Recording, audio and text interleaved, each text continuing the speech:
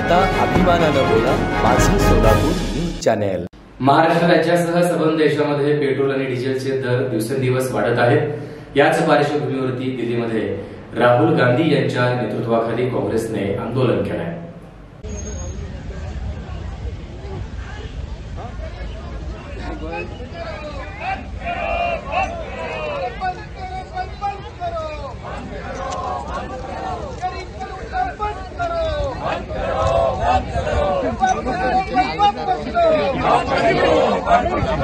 Please, everybody request everybody वापस लो भाई वापस लो वापस लो भाई वापस लो गैस का दाम वापस लो वापस लो वापस लो गरीब को लूटना बंद करो बंद करो बंद करो बंद करो बंद करो बंद करो गरीब को लूटना बंद करो बंद करो बंद करो करो करो करो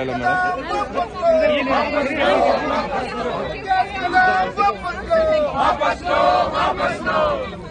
अरे पेट्रोल डीजल गैस के दाम में कम करो कम करो कम करो हम लोग आगे आगे पूरा दूसरे से काम करेंगे कम करो कम करो प्रधानमंत्री जवाब दो जवाब दो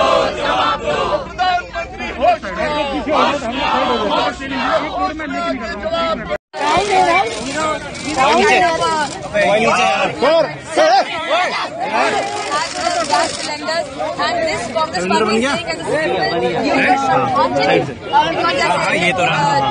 the fuel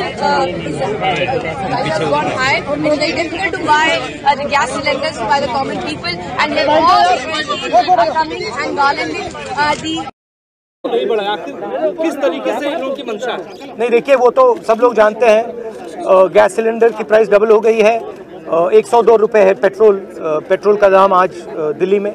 ये तो हिस्ट्री में कभी नहीं हुआ है इस लेवल का इस लेवल की प्राइसेस।